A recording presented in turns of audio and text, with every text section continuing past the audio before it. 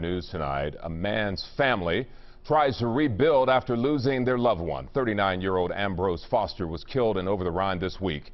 He was actually remodeling a shoe store scheduled to open today. WLWT News 5's Jackie Congedo spoke with family members who say Foster was involved in crime at one time, but had turned his life around. Jackie? And Curtis, you can see here behind me, Avenue, the shoe store, they are having their grand opening here in Over the Rhine this afternoon. The ladies who own this place refuse to let tragedy stop them from moving forward with their dream. We talked with Ashley Foster, who owns the store with her friend.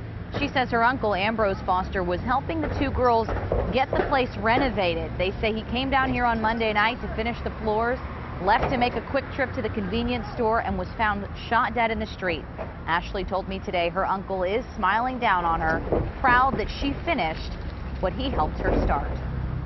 It's solely because of him. We would never be able to have a grand opening because we were so we're young. We just had a vision. We had the money to purchase it, not money to do anything else, pretty much. So if it wasn't for him, we would have never, never even embarked on renovating. We wouldn't have been able to afford to anytime soon. So yeah, this is solely. Be, I mean, everything that you see literally is because he did it.